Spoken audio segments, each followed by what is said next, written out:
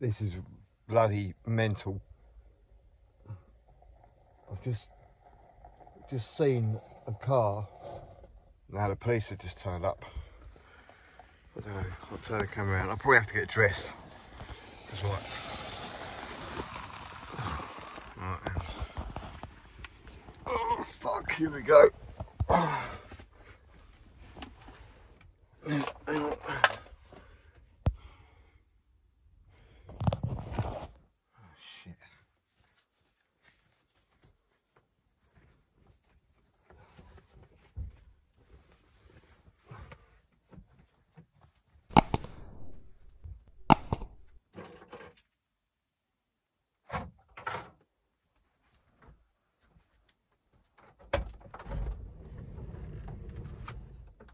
down the bottom of there. Yeah. I haven't seen anybody else. I was thinking it was quite strange actually. Yeah. And I thought, oh. Pardon? Oh, we're not there. Well, I just thought it was a bit weird that he drive around a car park and then... Okay. Right. Okay.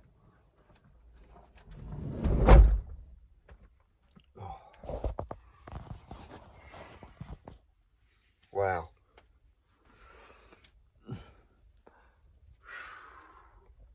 This is mental. I thought like where I'm parking is supposed to be like a really like quiet little village. A couple of weeks ago we had a um oh shit. A couple of weeks ago we had a um a digger 360 JCB drive through the co-op and nick the cash machine. And now it's like fuck. I mean there's there's the police car there. Oh. And the police are running around now.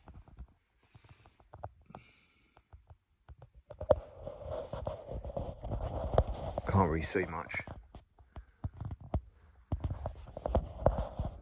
But over in the corner, right over there,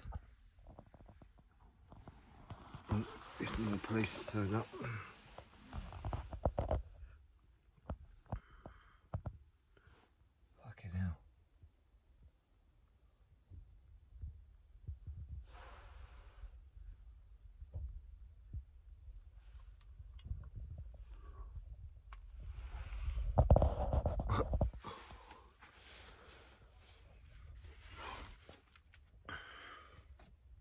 Mad. Absolutely mad.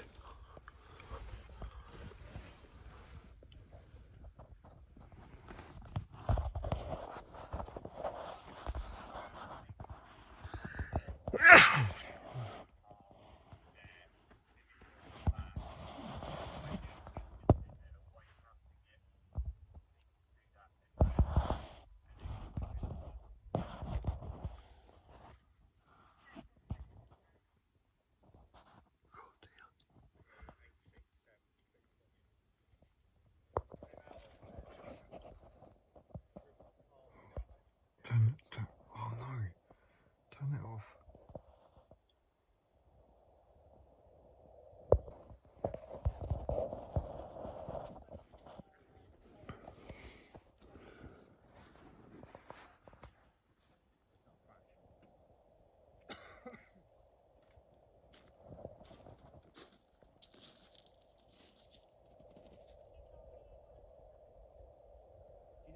Got a drone.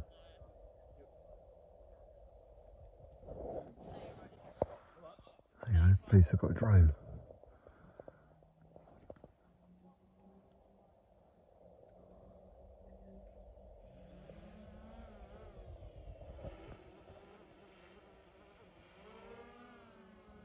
What have you got the license for that?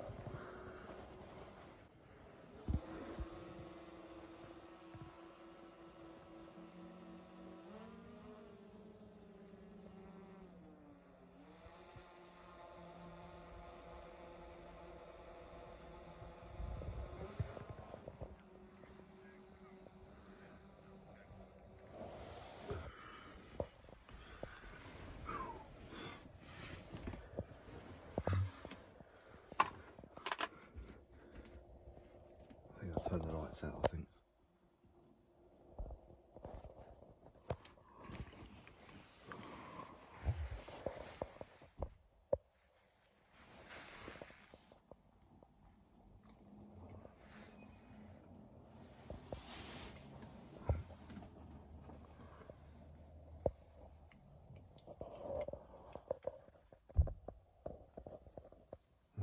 Turned up. Oh, yeah, he's brave. He's going to go and have a look.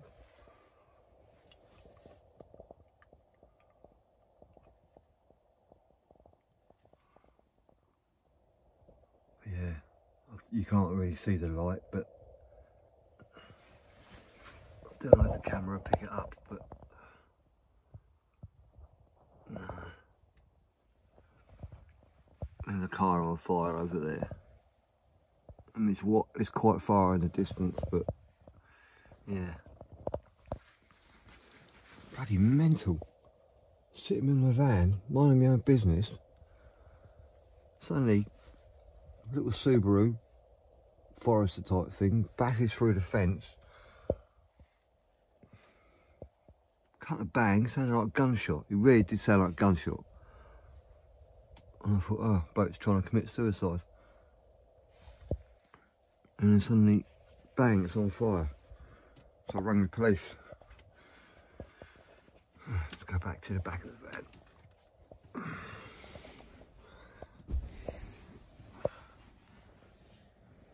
I don't know what that car is. Audi.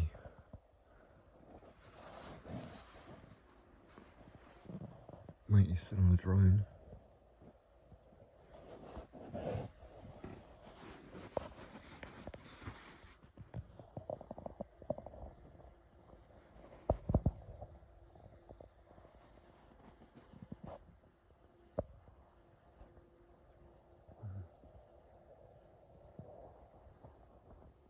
Back in a bit.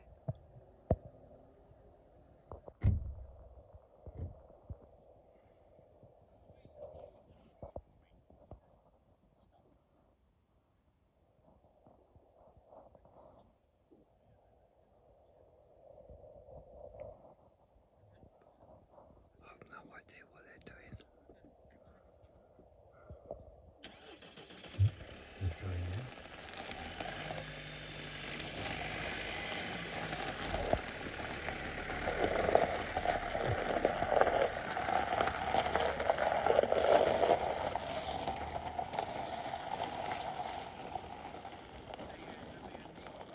I don't know where he's going, but they've left matey with the drone. They've gone quite a long time.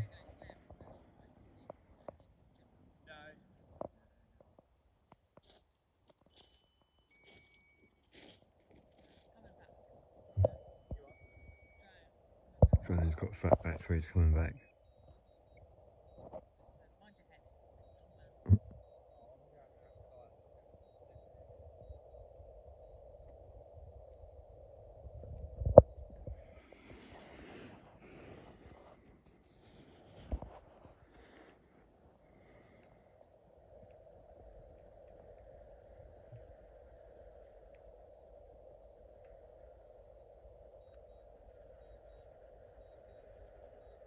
I can hear the drone. Alarms are going off. Definitely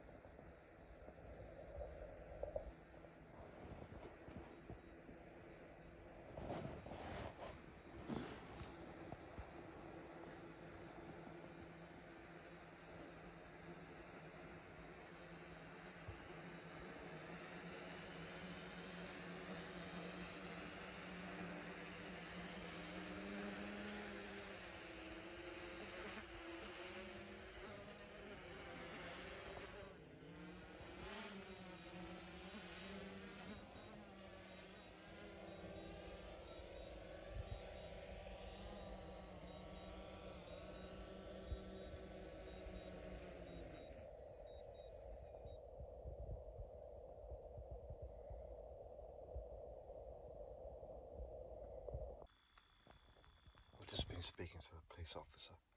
and set the fire. The fire is out, but they're going to be here for a while. So I just said, like, okay, if you need me, I'm here. I'm not going anywhere. Wow, what an eventful night. Unbelievable. Anyway, I'm going to try and get some sleep now, if I can. And I'll show you in the morning. Well, that was an eventful night. Sort of almost believed it didn't really happen. It definitely did. That's where the car went through. And just drove up through here.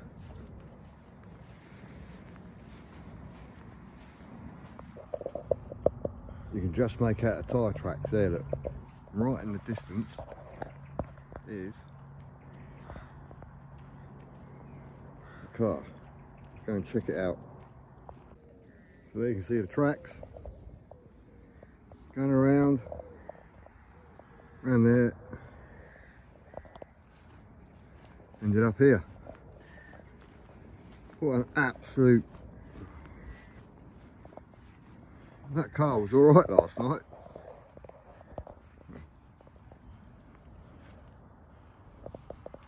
Look at it. That got hot.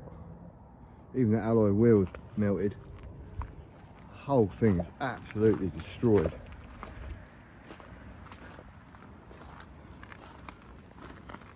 Cool, stinks. They've got an stereo on it by of it. Wow. Well, it's not Subaru. VW.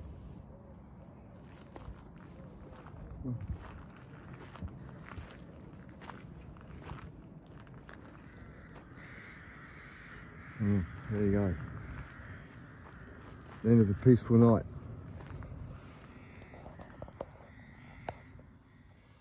Well, that was an eventful night. I suppose I've got to get used to it really, and I. You can't change your surroundings, even though you can drive somewhere else. But you know, I actually thought that where I'm parked now is going to be. It's like a sleepy village. It's an absolutely lovely village. I love it here. You know, it's got this perfect little community. There's some really good shops around, and you know, it's just yeah. But last night, I suppose somebody got a bit drunk, decided that he wanted to, I don't know, steal a car or even though I don't understand how you could steal that kind of car. They got like proper immobiliser keys, but anyway, it is what it is.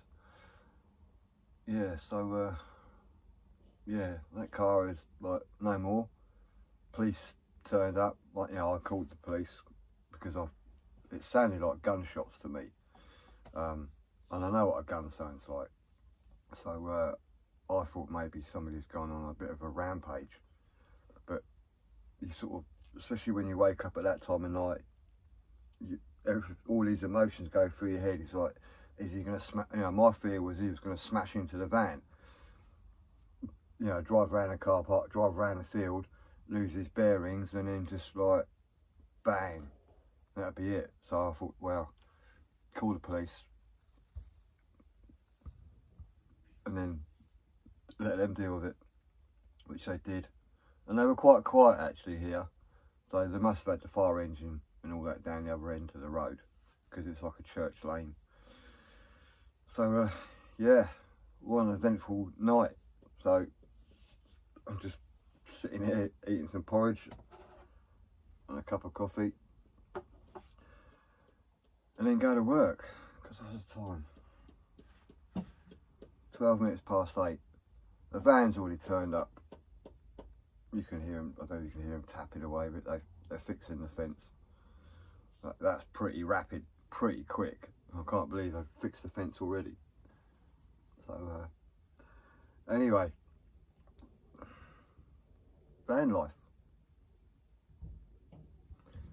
Thanks for everyone who's watched and you know all the love and support. It's the comments. I keep saying it because it is it's a lovely thing, you know. You could be having a bad day and someone gives you a really nice comment and it's just like, thanks mate, I appreciate that. It's the little things that warm your heart, you know, when you're feeling a little bit down or that's like everything in it, you know. You have to deal with the situations in hand the best you can. So, with that, I want to thank you all. Thank you to Richard for uh, buying me a coffee. Appreciate that, mate. And it was nice to meet you at Newbury. So anyway, so uh, don't forget to click and subscribe. And for more van life adventures. See you later. Bye.